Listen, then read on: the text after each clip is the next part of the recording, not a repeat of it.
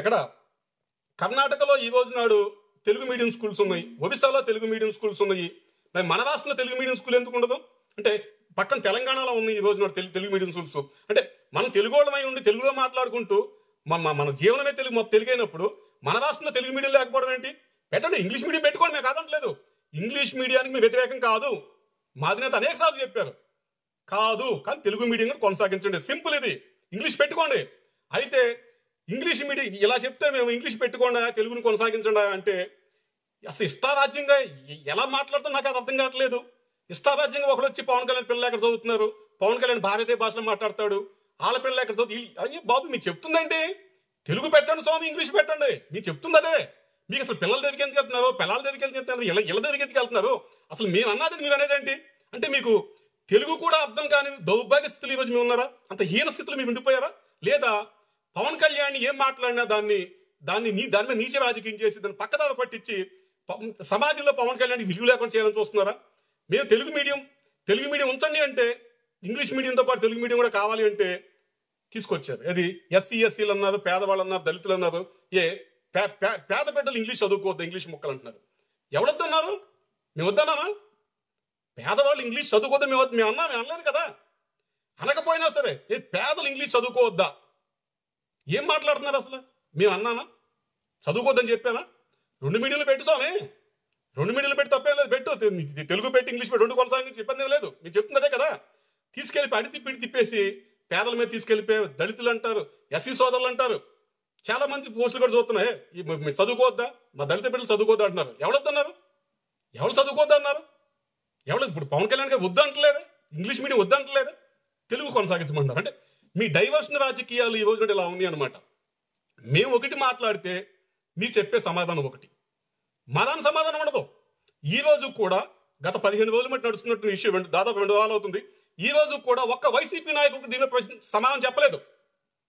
ఒక్క ఒక్క నాయకుడు చెప్పలేదు. మాట్లాడితే ఇంగ్లీష్ ఇంగ్లీష్ని వ్యతిరేకిస్తున్నారు. ఇంగ్లీష్ వద్దంటారు ఏంటారు ఇంగ్లీష్ని ఎవడో వ్యతిరేకించట్లేదు ఇక్కడ తెలుగు కావాలంటున్నాం. ఇంగ్లీష్తో పాటు తెలుగు కావాలంటున్నాం. ఒక్క వైసీపీ నాయకుడు ఈ రోజు సమాధానం చెప్పలేదు దీని మీద.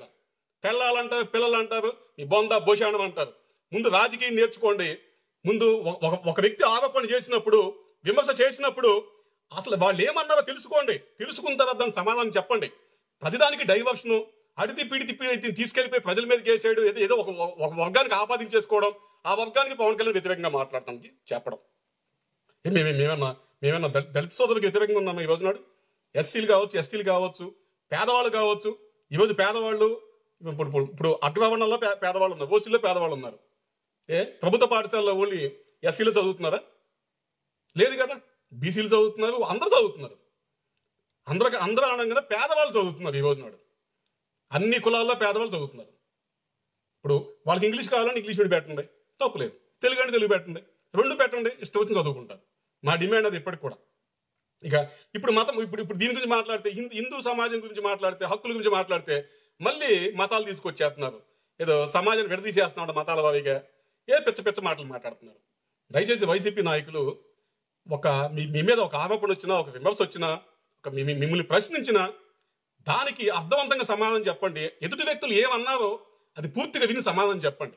అంతేగాని వాళ్ళు వాళ్ళు వాళ్ళు ఏమన్నా మాకు సంబంధం లేదు కానీ మేము ఒక డైవర్షన్ రాజకీయం చేస్తాము ఒక నీచ రాజకీయం తీస్ చేస్తాము దాన్ని తీసుకెళ్ళి ఒక కులానికి ఒక మతానికి ఒక ప్రాంతానికి ముడిపెట్టేస్తామని చెప్పేసి ఈరోజు వైసీపీ నాయకులు రాజకీయాలు చేస్తున్నారు దిగజావిడ రాజకీయాలు చేస్తున్నారు. గతంలో హైకోర్టు గురించి మాట్లాడితే అలాగే కర్నూలులో ఓకే లేచిపోయే ఉద్యమం అంట మేము కర్నూలు వద్దని చెప్పామా మా అధినేత కర్నూలులో హైకోర్టు వద్దన్నారా? ఆయన ఏమన్నారు? కర్నూలులో పెట్టి పెట్టుకుంటే పెట్టుకోండాయా జగన్మోహన్ రెడ్డి గారు దగ్గరగా ఉండదు కదా. ఏ కోర్టుకి వెళ్ళడానికి అడిగి చెప్పారు. అవసరమైతే పులివెందుల రాజధాని పెట్టుకోమని అంటే అక్కడ పెట్టుకోమని చెప్పారు. దానికి కూడా పెద్ద ఓకే ఇష్టారాజ్యంగా మాట్లాడేశారు. ఏదో కర్నూలులో ఉద్యమాలంట రోడ్ల మీద గొడవలో నాకైతే అర్థం కావట్లేదు. రాయలసీమ వెనకబడుతానని పవన్ కళ్యాణ్ కారణమా? మీ ముఖ్యమంత్రులే కదా. మీ ముఖ్యమంత్రులే వెళ్తున్నారు కదా. రాయలసీమనే ఎప్పటి తొంభై పంతొమ్మిది వందల తొంభై ఐదు నుంచి వెళ్తున్నారు కదా మధ్యలో ఒక్క సంవత్సరం. లింగులు ఇటుకుమంటే రాజశేఖర్ గారికి ఒక్క సంవత్సరం ఇచ్చారు సీఎం పదవి. అది కూడా ఆయన ఉనికిని సహించలేకపోయారు. ఒక్క మంత్రి సహకరించలేదు ఒక ఎమ్మెల్యే సహకరించలేదు రాయలసీమ నుండి.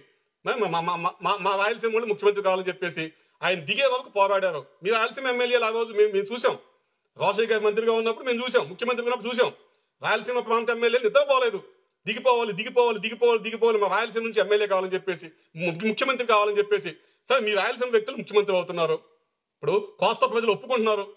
మీకే ఓట్లు వేస్తున్నారు మీ రాయల రాయలసీమ వాళ్ళు ముఖ్యమంత్రులు చేస్తున్నారు. మరి వెళ్ళి వాళ్ళని అడగండి వెళ్ళి. వెళ్ళి వాళ్ళని అడగండి. మీరు ఏవి కోరి మీ ప్రాంతం వాళ్ళు ముఖ్యమంత్రులు కావాలని చెప్పేసి మీరు ఏవి కోరి మీరు గెలిపించుకుని ఓట్లు వేసుకుంటున్నారు అలాగే కోస్తా ప్రజలు కూడా ఒప్పుకుంటున్నారు. పోనీ రాయలసీమకి ఇద్దామని చెప్పేసి మరి మీ ప్రాంతం వాళ్ళు ముఖ్యమంత్రులు అయినప్పుడు వెళ్ళి పవన్ కళ్యాణ్ అడుగుతారంటే? వెళ్ళి మీ ప్రాంతం వాళ్ళని అడగండి వెళ్ళి నాయకులను అడగండి. మీ ప్రాంతం నుంచి ప్రజలు వలస వెళ్ళిపోతున్నారు కానీ రాజకీయ నాయకులు బాగుపడుతున్నారు. ఒక్కొక్క రాజకీయ నాయకుడు వందల వేల కోట్లు సంపాదించుకున్నారు. మీ ప్రాంతం నుంచి ప్రజలు మాత్రం బతకలేక వలస వెళ్ళిపోతున్నారు ఈ రోజునాడు కుటుంబ రాజకీయాలు ఒక్క కుటుంబాన్ని కదుపుతుంది ఈ రోజునాడు జగన్మోహన్ రెడ్డి గారి కుటుంబాన్ని కదిపే స్థితిలో ఉన్న ఈ రోజునాడు అలాగే ఎన్ని కుటుంబాలు ఈ రోజునాడు రాయలసీమలో? ఎన్ని కుటుంబాలు ఎన్ని వందల కోట్లు సంపాదించినాయి? ఒక్క ఎమ్మెల్యేని కదిపే పరిస్థితి ఈ రోజు నాడు లేదు. అంటే మీ నాయకులేమో ఈ రోజునాడు దర్జాగా సంపాదించుకున్నారు హ్యాపీగా సెటిల్ అయిపోయారు. బెంగళూరులో ఆస్తులు ఉంటాయి హైదరాబాద్లో ఆస్తులు ఉంటాయి వాళ్ళకి రియల్ ఎస్టేట్ బిజినెస్లు ఉంటాయి అన్నీ ఉంటాయి వాళ్ళకి. కానీ ప్రజలకు మాత్రం ఈ రోజు నాడు వలసలు వెళ్ళిపోతున్నారు రైతు ఆత్మహత్యలు వలసలు. ఇది రాయలసీమ పరిస్థితి ఈ రోజు వెళ్ళి ప్రశ్నించండి మీ ముఖ్యమంత్రిని ప్రశ్నించండి వెళ్ళిపోయి.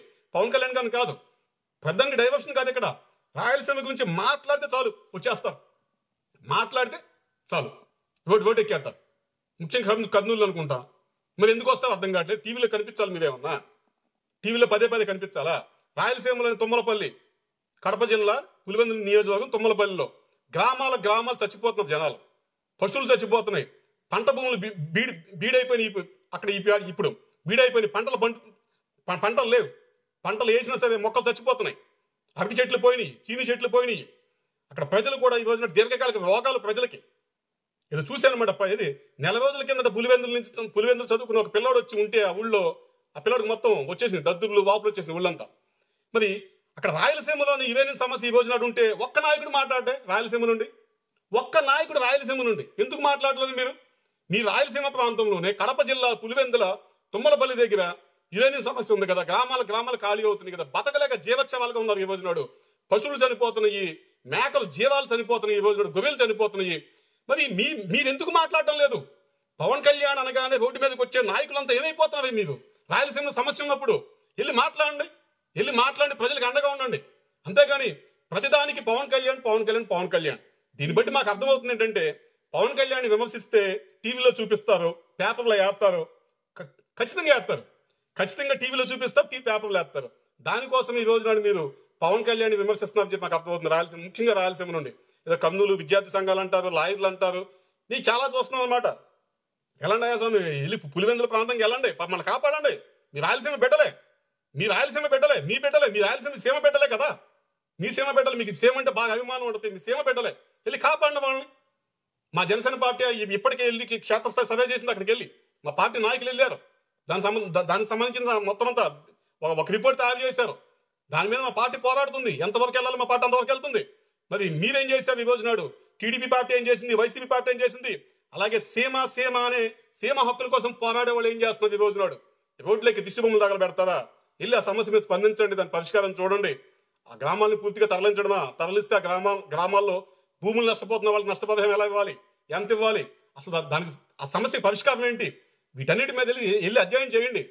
అక్కడ ప్లాంట్ తప్పదు. ఉండాలి అనుకుంటే కేంద్ర ప్రభుత్వం ఇప్పుడు ఈవెనింగ్ కూడా కావాలి. మన భవిష్యత్ అవసరాల కోసం. తప్పదు అనుకున్నప్పుడు ఎంత ఎంత మేర ఆ గ్రామాలను అక్కడి నుంచి తత్పూర్తిగా పూర్తిగా తరలించాలి. ఎంత ఎన్ని- ఎన్ని కిలోమీటర్ల ప్రభావం ఉంది? అవన్నీ కూడా ఒక స్టడీ చేసుకుని దాని మీద వర్కౌట్ చేయండి వెళ్ళి. ప్రజలకు కావాల్సినది ఈ రోజు నాడు. రోడ్డెక్కి ఆలం తిడితే ఏలం తిడితే మీడియా ముందు ఊగిపోతే ఏ సమస్య పరిష్కారం కాదు. ప్రజలు చనిపోతారు. ప్రజలు చనిపోవడం తప్ప ఇంకో సమస్య సమస్య పరిష్కారం ఉండదు. చేతనైతే దాని మీద దాని మీద పనిచేయండి సార్. పవన్ కళ్యాణ్ గారిది ఏముంది? ఈ పేటీఎం బ్యాచ్లు వస్తానండి పేటీఎం బ్యాచ్లు వస్తే కామెంట్లు పెడతా ఉంటాయి కానీ పేటీఎం బ్యాచ్ కూడా చెప్తున్నాను.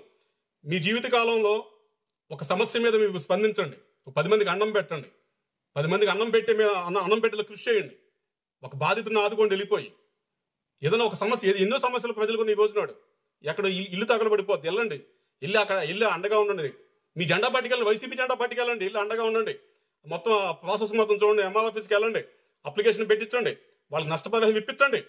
సమాజానికి పనిచేయండి సోషల్ మీడియాలో బూతులు తిట్టుకుంటే వచ్చింది మీ ఉన్మాదం తప్పితే మా జనసేన కార్యకర్తలు చూడండి ఈ రోజునాడు.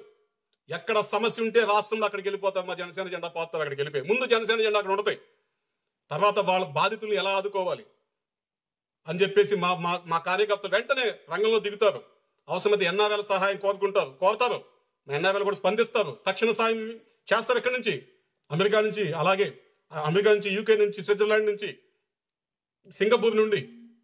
అలాగే గల్ఫ్ కంట్రీస్ నుంచి కూడా ఖతార్ నుంచి కూడా దుబాయ్ నుంచి ఎక్కడెక్కడ ఎన్ఆర్ఐలు కూడా వెంటనే తక్షణం స్పందించి డబ్బులు పంపించడం జరుగుతుంది. తక్షణం బాధితులను ఆదుకుంటాం ఆ తర్వాత ప్రభుత్వ పరంగా వాళ్ళకి ఏ ఏ విధంగా ఏ విధమైన రాయితీలు వస్తాయో అవన్నీ కూడా మా వాళ్ళు కృషి చేస్తారు ఈ రోజు నాడు చేయండి సమాజాన్ని చేయండి మీరు కూడా. రాజకీయ పార్టీ అంటే బూతులు తిట్టుకోవడం కాదు.